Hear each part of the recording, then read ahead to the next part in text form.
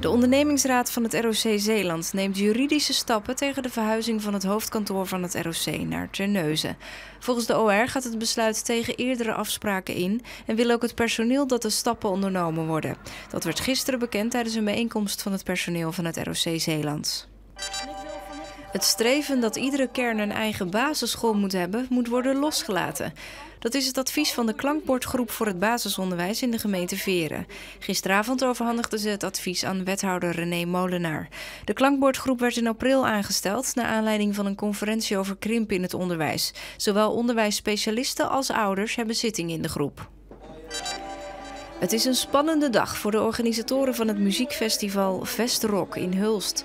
Het rockpodium is namelijk genomineerd voor de European Festival Award. Vanavond wordt bekend wie de prijs krijgt tijdens de aftrap van het festival Noorderslag in Groningen. Heeft u tips? Bel ons of mail